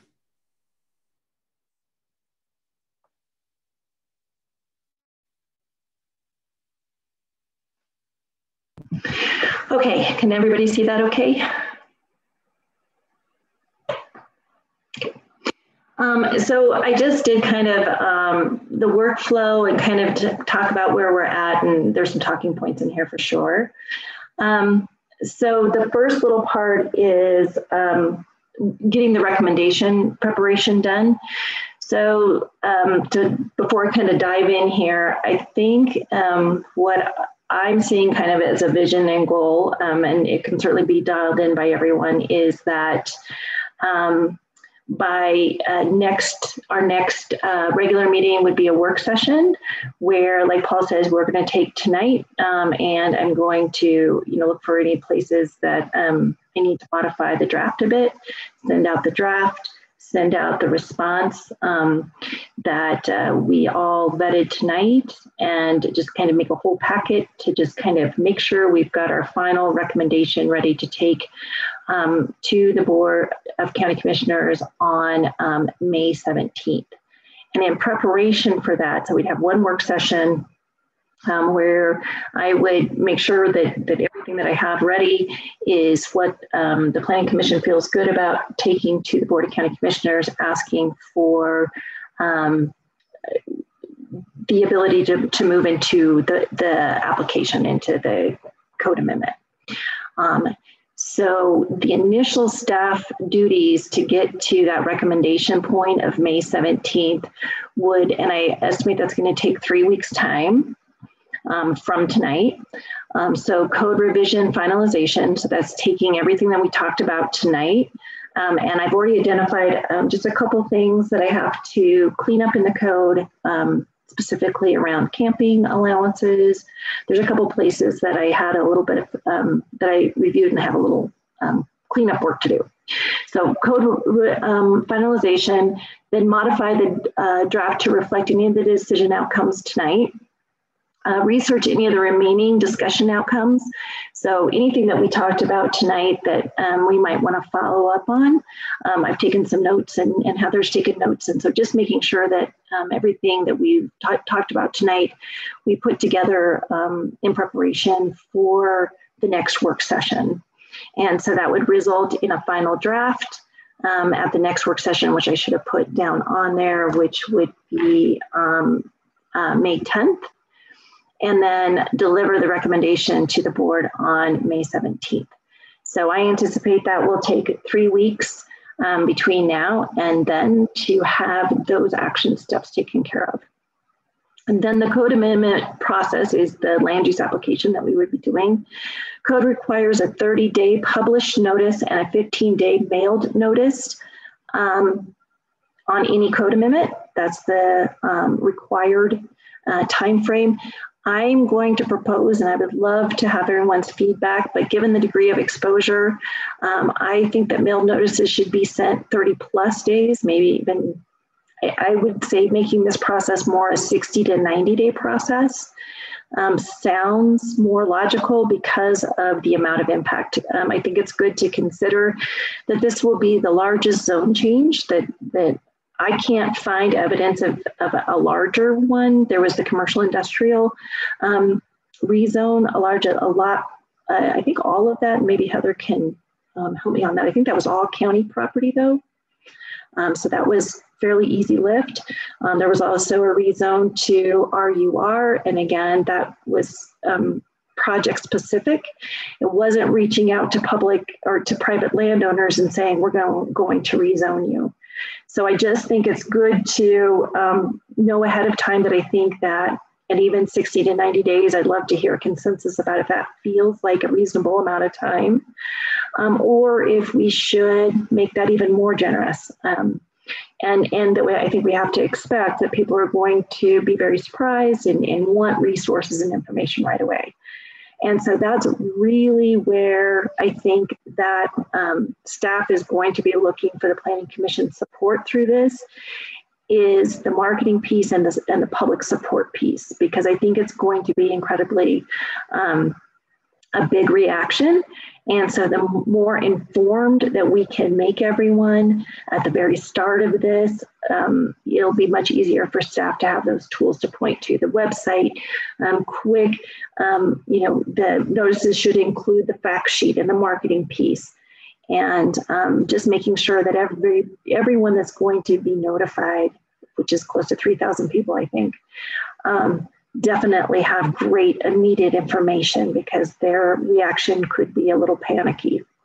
Um, so um, planning commission assistance would be in the marketing, the development of it, um, designing the informational FAQ, and I would say that immediate upon approval of the recommendation um, from the planning uh, from the board, and maybe even beforehand, um, that design um, FAQ should start. And and um, Heather and Aaron and I, especially Aaron and Heather, worked on this just a little bit already. Um, but that'll definitely be something staff will be looking for support on. Uh, website, uh, design the website information, our internal um, IT director, uh, Amit will definitely, I'm sure, help with this, but just, you know, maybe it'll be uploading um, for creating the uploads uh, for the website. So the whole marketing piece uh, is definitely something that uh, staff would be looking for the support of the Planning Commission. The public notification um, has a couple different pieces. Determine the buffer.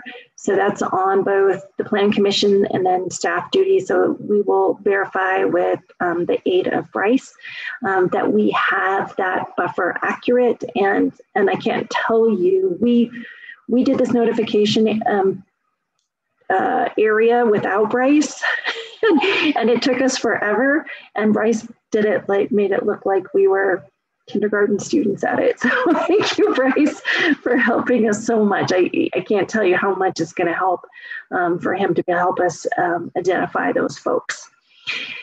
And then we're going to need help preparing the mailed notices. So that's literally stuffing envelopes. Um, and I would imagine that's going to take a couple days to do. Maybe two days is ambitious. Maybe it'll take a little longer. I, I really don't have any basis of, of knowing that. And then on our side, we'll create the notices and uh, publish the notice. So that's just a matter of a couple hours. Um, that's really no big deal.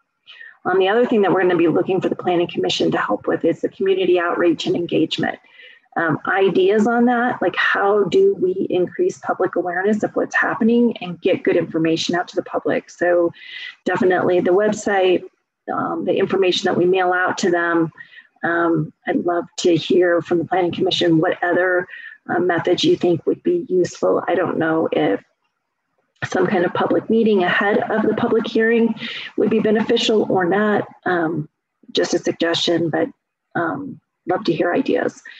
And then staff preparation for the public hearing is basically the staff report. And obviously, as everyone knows, um, and I provided Heather with, I've got a very robust um, drive of all kinds of, of history and information and vetting um, that's been done. So the staff report, um, it will be an, a, matter of hours for staff, maybe a couple days actually. Um, uh, this adds another process to the existing amendment. Oh, and, and so then um, just talking about site plan review. So I think we also had to, we need, in all fairness, we need to make sure that everyone's aware of um, the other step that this um, introduces into our department and for our land use staff, and that is that we will now have a new site plan review. Um, so we have a new process that we'll be administering um, as we've been talking about tonight. And so I estimate that this new process um, will be a 30 to 60 day review process in order to engage with external um, agencies when needed. Um, and these are always kind of ballparks. We have to look at processes on a case by case basis and staff capacity at the time. But um, once we actually have, you know, if the code amendment is successful and we're looking to administer it, then the next piece for staff will be the actual um, processing of, of site plan reviews. And so that's the estimate that I think that we're at. I think it's noteworthy that currently a building permit to build in rural remote areas takes a greater de degree of review than an application in a platted subdivision or in a more accessible area. So we um, currently do a zoning review on every building permit, but now we'll have a site plan review associated with every backcountry build. So um, I don't think though that um, this will result in um, the idea that we've created a lot more work for staff, although um, certainly there is any new process is, is going to result in, in additional work. Um, but I do think like um, Heather used the example of when people, when the scarcity of land is like it is, people are going to eventually say, well, I'll buy that $60,000 mining claim and I'll put $100,000 into making the access or $200,000 into the access. And then we're going to have to review those. So I, I think that um, it may increase um, some building permits, but those building permits are going to come in no regardless. So I think that's all I have for you. I tried to put it um, quickly, put this in a spreadsheet today, and that didn't happen. So um, that'll be down the road and before I take it to the board. So happy to answer any questions anybody might have. Did we actually decide that this is going to be a, another site plan review? Yes. Um, yeah, this is an admin that that's the whole way that the code is written. A backcountry build um, results in a site plan review. Every every backcountry build.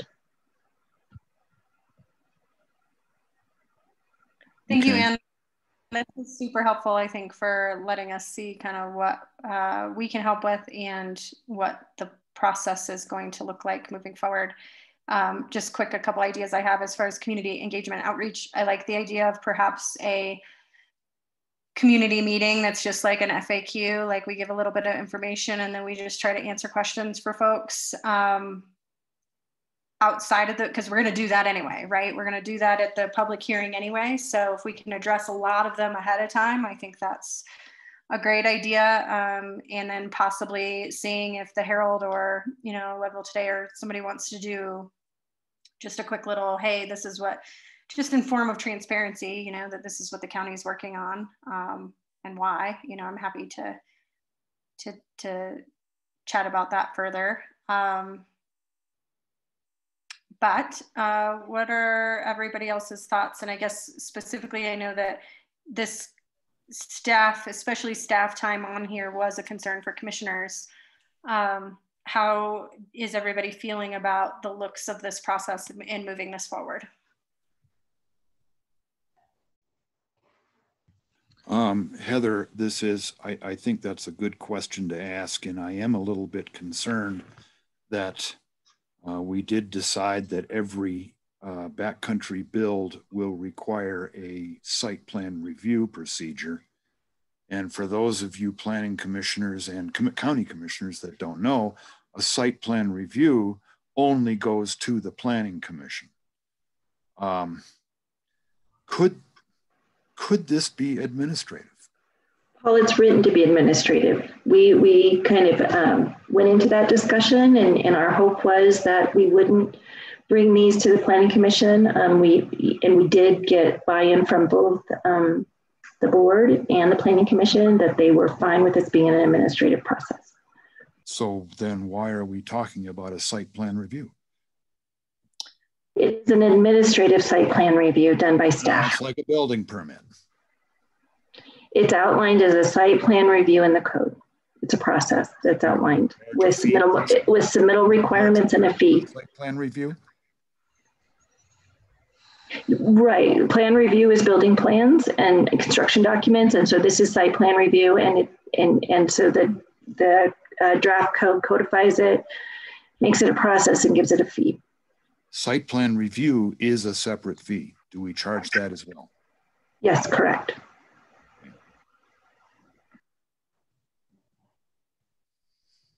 I might also think that uh, how many of you actually read the legal notices when they get published in the paper? And and Me, knowing already what your answer your, your answer is, I would suggest that we do a couple of display ads. I mean, or a letter to the editor too, just to see if they'd. Yeah, I think that Heather was suggesting that we see if we can get the uh, the paper on board to do actually do an article. I see they're on this meeting now, so hopefully they hear us. Yeah, Chris, I read the notices too. I don't read the whole thing. I make sure it's not. Um, I study. I can, I can edit video. I don't know if that's helpful. If we want to put together a little video that can be shared around. Be cool. That's a good idea. Boy, that could be that could be complicated. Not I if like- you have the right person working on it. That'd be awesome, Aaron. If we could have a video that was on the website, that would be amazing. Yeah, I'm not a fantastic editor. I could do a graphical thing, but it would be pretty amateur. So if we wanted to go the route of only voiceover, but if we had someone who was willing to kind of do a fact sheet, like quick fact check um, and stand on camera, it would be a really simple edit and we can do intros and everything. So I also like having a community information meeting. Because So- we can do that before the notice timing is up for the meeting, you know, as far as whenever our scheduled meeting is, we could do that informational night, whatever works in the schedule before that. And then know that we're probably going to have many, and many questions and answers again, public hearing night, but at least we will have um, answered a lot of questions. Yeah. How how do you all take public comment now? Um, I'm, I'm like, is it just um, directed towards staff, or and then summarized, or how does that? So That's it. Oh, go ahead. Go ahead, Anne. You know, um, in the in the in prior to COVID, we did have a sign up sheet, and um, Heather facilitates public comment. Um, we have yet. We were we were in the midst of preparing for Angel View when they decided to t- uh, table their application um, to do it differently. And so this this time, that's a really good point. Is that we will encourage um, sign up ahead of time, um, and I think that. Um, we also, in the opening statement, chair, uh, uh, opening statement, um, Heather's really good too about reiterating like if you have a different perspective that hasn't already been shared, um, you know, that, that you may want to go ahead and speak up. But she's amazing at kind of making sure because on some of these, um, when we have a lot of people speaking, it, it's kind of nice to kind of keep reiterating if, if there's a, a new perspective or something um, your concern hasn't already been um, shared. But I'm going to add that over here to um, sign up ahead of time. Thanks, Abby.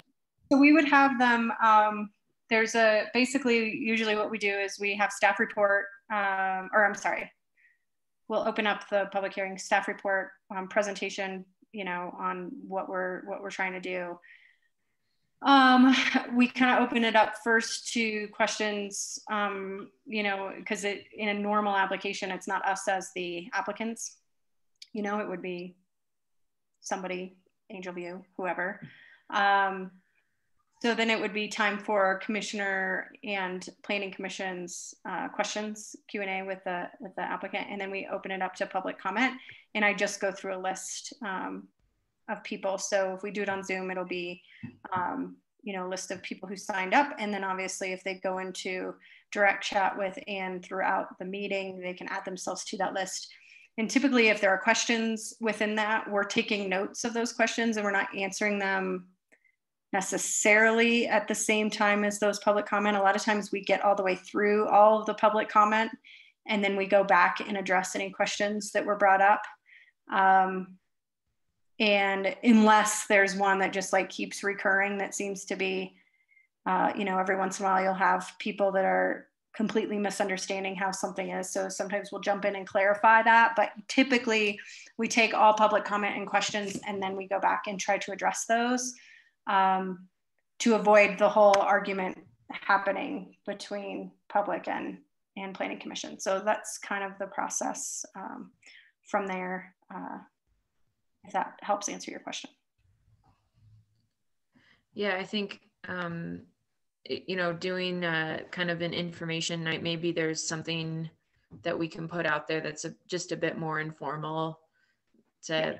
To be able to pose questions to an email address or um, and then and then certainly during that educating yeah like on how to actually submit comment for the actual hearing. Yeah i think that's a great idea. I think for the q&a night it can be more of a ask a question and we'll directly answer it and then move on to the next um, and then for public hearing we yeah handle it the the other way. Yeah like that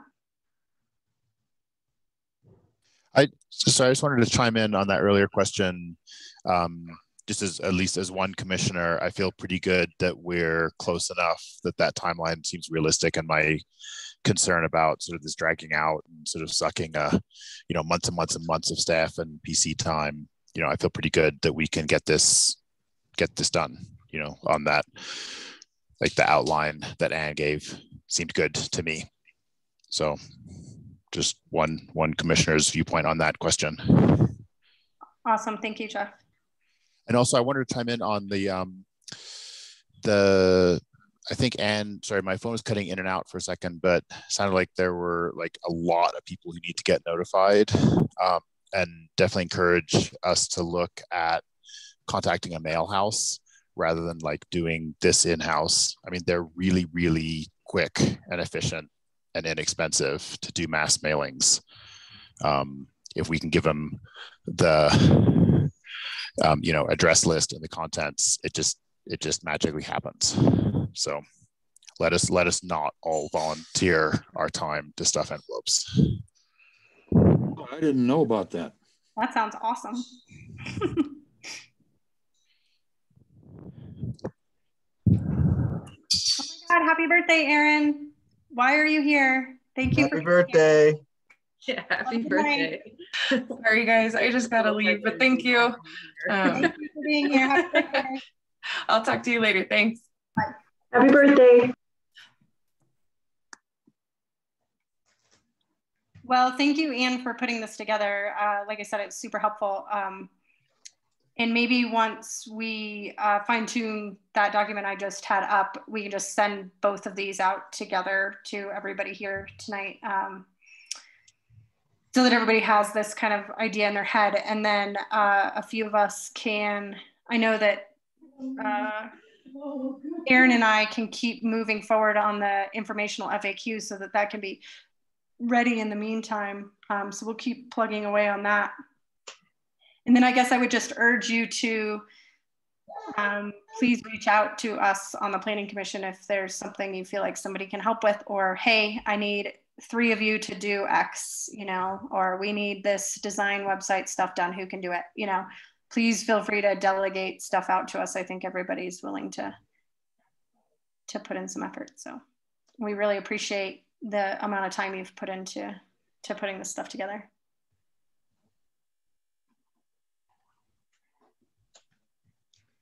Does anybody else have any final thoughts and or suggestions or concerns or anything this evening?